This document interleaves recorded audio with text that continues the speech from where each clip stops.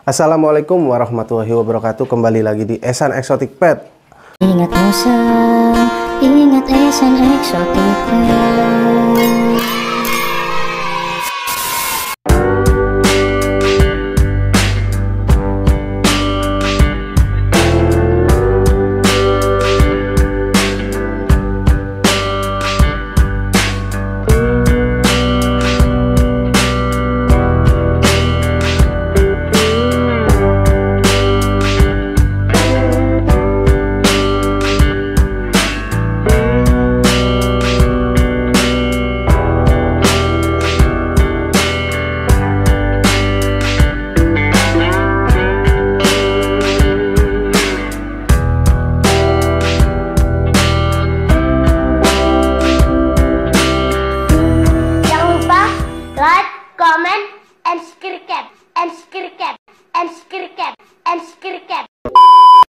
Oke guys, kali ini eh, saya mengucapkan selamat tahun baru buat teman-teman semua yang nonton channel ini ya guys ya. Alhamdulillah di tahun 2024 di awal tahun tepatnya tanggal 1 Januari 2024 saya ini mendapatkan rezeki guys yaitu dua ekor baby musang anakan dari Wiri guys. Oke, tepuk tangan guys.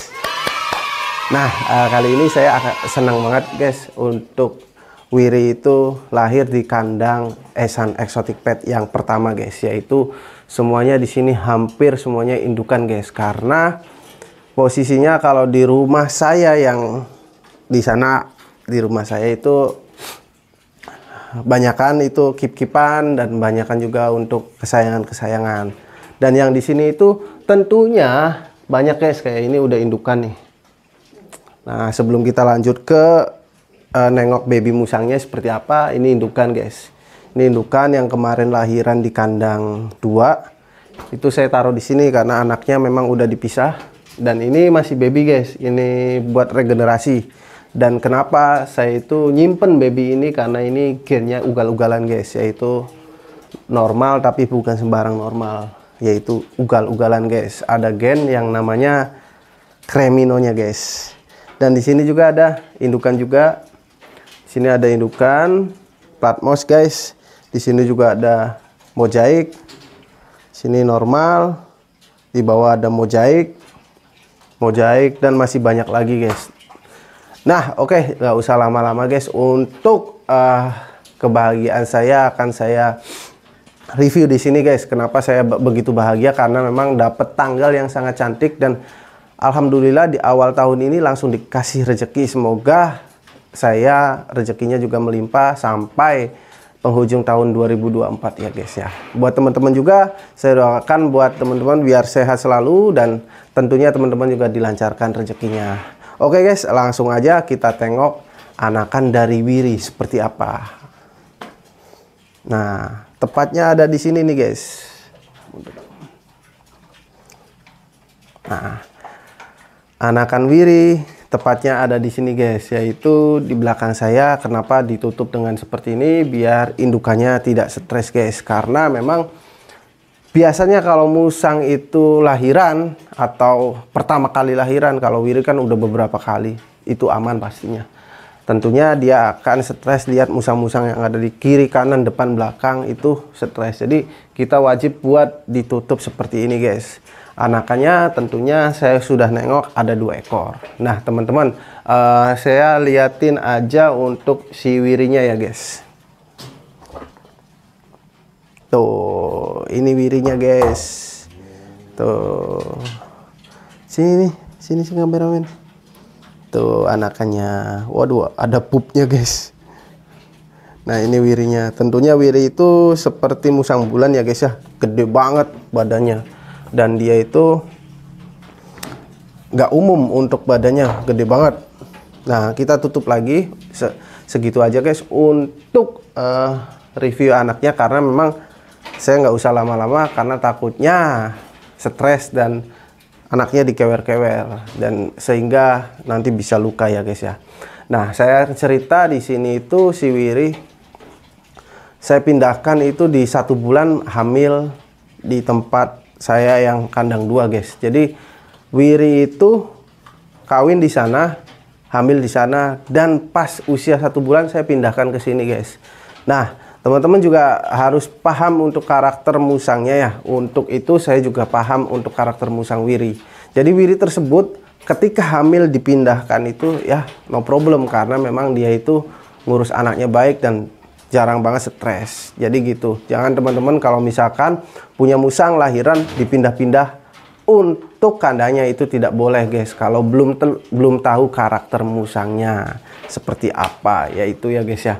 Dan sebelumnya ini si Wiri itu mempunyai anak satu ya? Ya pik ya?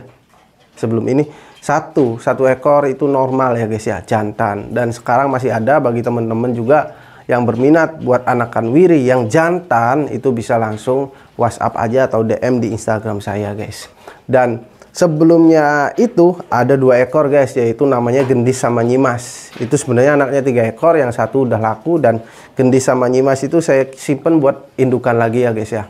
Dan sering juara juga untuk gendis dan nyimas. Nah bagi teman-teman juga kalau misalkan sering lihat konten saya uh, kayaknya untuk gendis dan nyimas tahu deh seperti apa wujudnya dan kebetulan anaknya juga ada yang persis mirip gendis. Nah, jadi dua ekor ini saya juga belum tahu yang namanya kelaminnya seperti apa. Apakah jantan semua, apakah jantan betina, apakah betina semua, saya belum tahu. Nanti kita review setelah usia-usia cek kelamin ya guys. Biasanya 10 hari atau 15 hari saya review untuk anakannya seperti apa. Kalau untuk sekarang itu tidak memungkinkan karena baru banget lahiran ya guys ya. Selesai wiri, saya akan review anakan wiri juga ya guys ya. Anakan wirinya itu ada di sini guys. Nih. Nah ada di sini guys. Nah ini menuju buat indukan ya guys ya anakan si birinya yaitu dia itu coraknya marble guys. Cuman udah mutasi jadi seperti putih semua gitu loh Nah guys untuk kali ini saya juga uh, akan review-review musang yang ada di sini ya guys ya. Nah karena memang posisinya untuk si wiri tersebut kita nggak usah ganggu ya karena dia baru benar-benar lahiran ya guys. Dan di sini itu kita terutama yang ada di sini nih ya kayak nah ini ini jantan nih guys ya ini masuknya normal tapi gen ugal-ugalan yang artinya bisa saya simpan itu karena memang mempunyai gen yang di mana gen tersebut bisa mencetak sesuatu. Jadi untuk saya pribadi uh, bukan karena visual normalnya ya guys ya tapi visual yang didapatkan dari musang tersebut itu adalah dari genetiknya guys. Jadi contohnya saya akan mencetak musang yang seperti apa ya dari yang saya simpen-simpen seperti ini guys. Karena kalau misalkan panen saya pribadi tidak akan menjual semua musang saya gitu loh guys. Jadi biasanya anak ketiga dua dijual satu disimpan karena yang pertama itu buat regenerasi. Yang ditakutkan di sini memang udah tua ada yang itu kayak kemarin otong ya guys ya. Otong itu sebenarnya busang mozaik saya yang pertama itu meninggal atau mati itu karena memang di usianya yang sudah tua guys. Jadi manopos lah. Intinya seperti itu. Dan kebetulan ada juga anaknya otong di sini. Banyak ya guys. Seperti bonbon. Banyak lah. Seperti ya banyak banget. Jadi otongnya nggak ada masih punya anaknya gitu loh guys. Jadi jangan sampai yang namanya kita kehabisan regenerasi. Bisa-bisa nanti kita pensiun dini ya guys ya. Oke kita akan bahas tentang masalah kembali lagi ke wiri. Jadi wiri tersebut uh, adalah musang yang menurut saya musang yang ora umum. Artinya musang pandan tapi memang badannya itu seperti musang bulan. Jadi gede banget guys wiri tersebut. Jadi anaknya pun akan menghasilkan anaknya yang big size yaitu anaknya bisa tulangannya gede-gede terus ah gede-gede banget lah. Pokoknya anaknya wiri seperti gendis dan nyimas itu tulangannya gede-gede guys. Jadi masih kecil aja sudah besar. Umur dua bulan udah tiga bulan udah kayak tiga bulan empat bulan guys. Karena memang posisinya kalau saya nyimpen uh, regenerasi itu pasti yang besar-besar. Karena untuk membentuk tulangan dan enak aja guys dilihatnya. Kalau untuk musang yang gede. Kalau musang pandan kan memang rata-rata itu untuk ratanya paling segini ya guys ya. Kurang lebihnya segini. Segini udah termasuk gede banget sih. Segini udah termasuk gede banget. Jadi mungkin di sini juga kenapa Mas Kumis ada yang kecil-kecil ada yang masih usia lima bulan tiga bulan ada yang dua bulan karena memang posisinya saya itu menyimpan regenerasi. Jadi bukan semuanya di sini indukan ya. Kebanyakan indukan, tapi memang kita simpan yang kecil-kecilnya buat jadi indukan lagi, guys. Oke, gitu aja video kali ini. Untuk teman-teman yang belum subscribe, subscribe ya teman-teman. Biar saya semangat untuk bikin video-video tentang permusangan ya, guys ya. Untuk teman-teman yang sudah bergelut di bidang musang, tentunya teman-teman harus benar-benar tekun, rajin dan yang pertama itu harus jadi peneliti ya guys ya.